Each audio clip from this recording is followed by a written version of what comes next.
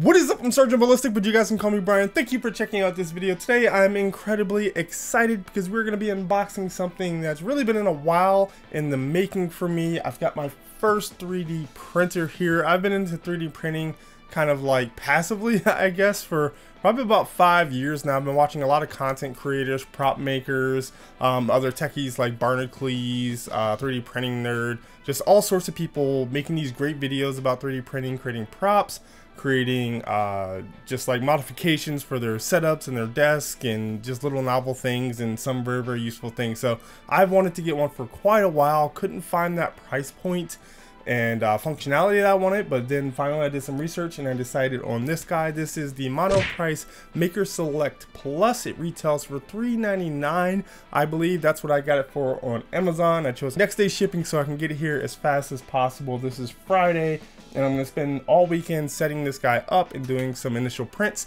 and hopefully be able to give you guys some first impressions. So without much further ado, I'm really, really excited and I want to get into this. So let's take a look.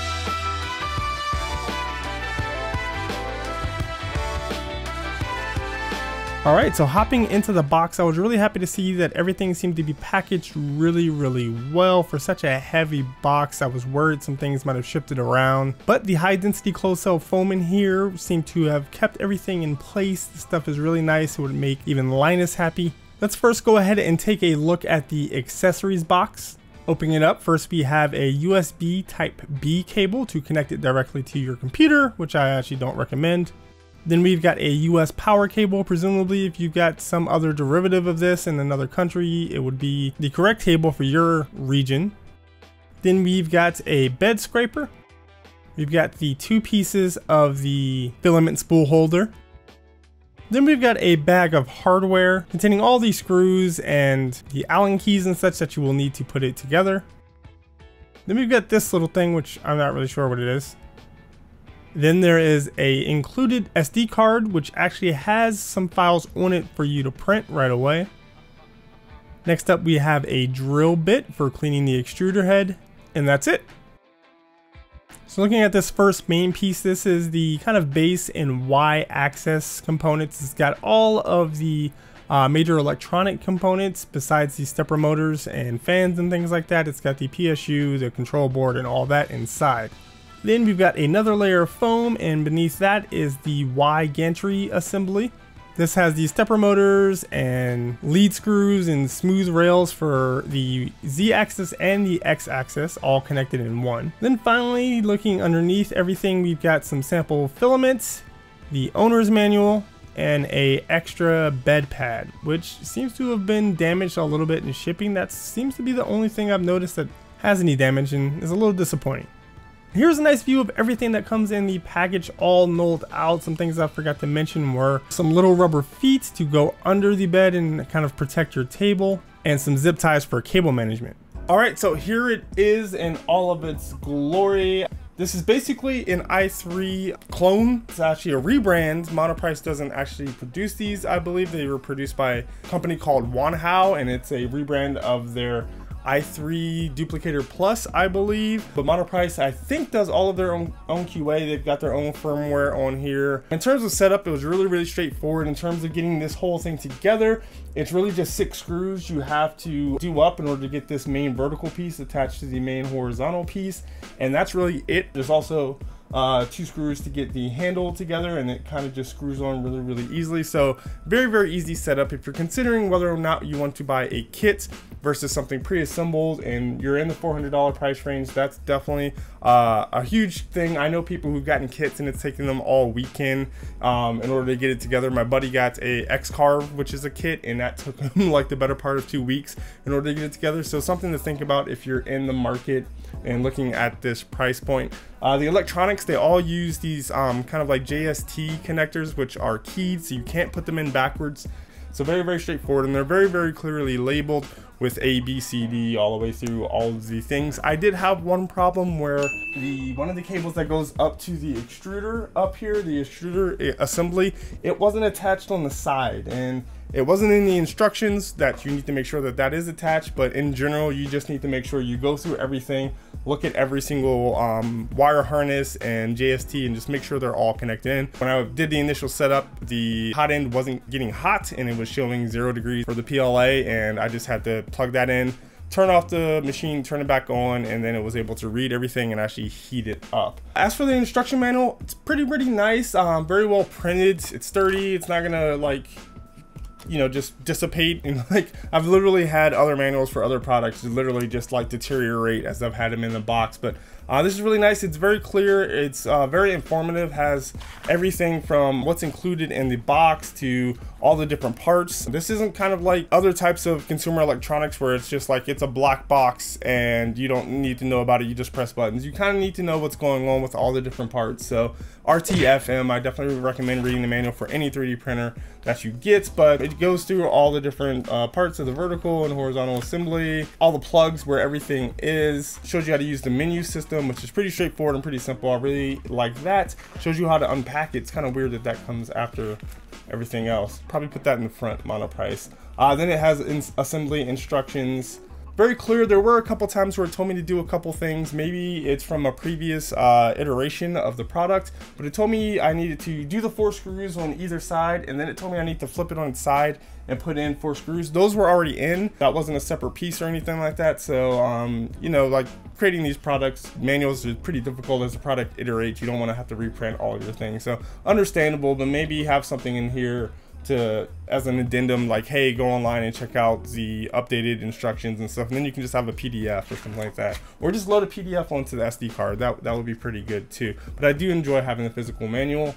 In terms of what's included one thing i thought was strange they don't really tell you what everything included is for. They don't really tell you what this piece of like ptfe is for. They don't tell you what this guy is for. I i imagine it's I, I really don't know what this is for. Um but yeah, I, I, would like to know what everything included is actually for. I don't even think that this is listed in the uh, what's in the box. So if you know what this is, please tell me. All right, next we went through the process of setting this up and getting ready to print. The first thing I noticed is that uh, they recommend you get a carpenter's um, level. I have this level plumb um, and you need to make sure that the surface you set it on is level. And I thought my, some of my tables were level and they turned out to not actually be level. And the reason this causes a problem is that there are two of these um, Z-axis motors which affect the leveling of the x-axis movement assembly. And those can get off. They're they're not synced up motors at all. So you're gonna have problems where as the prints you're doing or going on it's gonna get out of sync. And basically before every print you probably need to re-level those and then also re-level your bed it doesn't have any auto leveling features. It's got this kind of spring mechanism which means that the extruder can actually push down if it actually goes too far in the z down in the z axis but uh, basically the process is tighten these all the way up so that the heated bed is as far down as it can go. Then you home it and you put it approximately two by two inches away from each corner. So you put it in the first corner, you undo the screw until it gets the height of one sheet of paper, and then you move it to the other corners and you undo the screw and uh, level it that way. That way, after you've leveled your uh, z-axis, your x-axis rather, and then you've leveled the bed, everything should be in sync. And that's what the auto levelers essentially do. They go to the four corners, um, they, they press down to see what the height is and then they automatically level your z-axis based on that. Some can actually level the bed and things like that but that's a very important process. And I actually didn't do it right the very first time and it's kind of embarrassing but um, you can notice that I had it too close and when it got to the middle it actually scratched up the um, surface of the print bed liner so it hasn't caused any problems in terms of the prints. Most of the prints have still adhered very well and they've turned out very, very good. But just something to be aware of. Auto leveling would be nice, but uh, I think at this price point, it's not too big of a deal to um, have to level things out yourself before every print. Once you get used to it, it's really, really super easy and pretty fast. But yeah, making sure that you have a solid table um, that is level uh, is very, very important. Different tables, some may not allow you to level, so you might have to start shimming stuff. So the next part of the process before we can get ready and print was loading up the filaments. First, you want to go ahead and preheat the bed and the uh, nozzle to the right temperatures. And basically this printer works primarily with ABS and PLA. So there's two settings in the menu. You can go ahead, just dial those in. It'll heat everything up. Again, I had trouble because my stupid little extruder cable on the side wasn't plugged in, but once I got that sorted out, um, everything worked fine. I wish they had a diagram of what is going on inside of this extruder. The process is basically once it gets up to temperature, you press down the spring loaded um, kind of like clamp and you push the filament in and it says push in until you feel significant resistance. And that's I mean, A, that's going to be pretty freaking subjective as to what significant resistance is. You get se several different levels of resistance while you're pushing it through.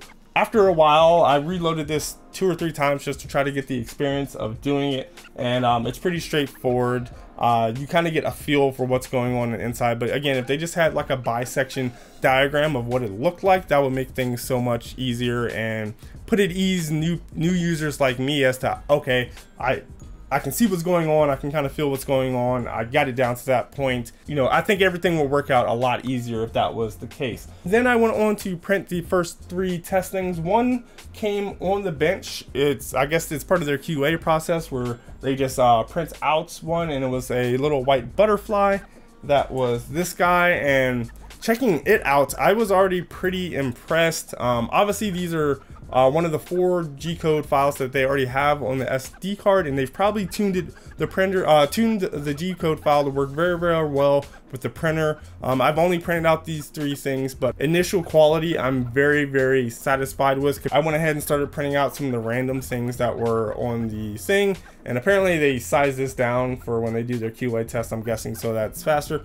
So I printed that out again with the yellow filament. It's um, the file one. They're not labeled like butterfly. They're just G-code 1, G-code 2, G-code 3, G-code 4. So this turned out really, really well. It's obviously bigger. There are a couple stringy, maybe over extrusion type things on here, but it's, it's stuff that you could clean up really, really easily. There are some areas which are a little bit less well finished than the other side. Um, but in terms of cleanup, I don't expect that this would take very, very long at all. Um, and I'm really, really impressed with these sample prints so far. This was another guy. It's still on the raft, and it's just this little recliner thing. Then the last prints I just did was this swan and this one I do notice a little bit more of a rough feel in some areas I think I could clean it up and get it to a point where um, I'd be very very happy with it but overall I gotta say um, for an initial setup and initial prints, this was fairly no fuss. Besides the bed leveling, besides the loading up the filaments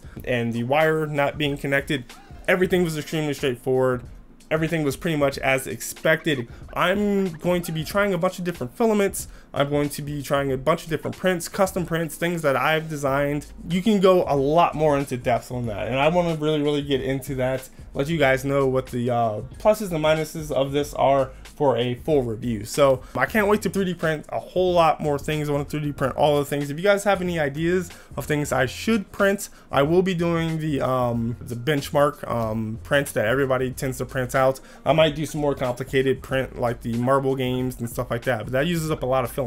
If something goes wrong, you kind of feel like crap because it's like a 30 hour print or something like that. But I will be doing some props. I will be doing some DIY stuff, uh, some maybe some custom cable management. I, I have a lot of ideas and I'm finally, I'm so, so glad that I'll finally be able to actually you know make some things so uh that is it for this video hope you guys enjoyed it i hope you guys learned a little bit something about this printer and 3d printing in general if you have any ideas or any feedback let me know in the comments below I am so, so excited about this and I am hoping that you guys are excited about it too. Uh, give the video a thumbs up if you enjoyed it. Give it a thumbs down if you did not, but try to leave some feedback in the comments below. Subscribe to the channel if you haven't already for more 3D printing goodness. We got PC builds coming up, uh, video card reviews. Very, very excited about some of the stuff I'm getting in from uh, a couple companies. PC builds, some case uh, reviews, um, all sorts of stuff. So subscribe to the channel for that awesomeness. Check out the description for links to all of my social media things where I'm posting behind the scenes,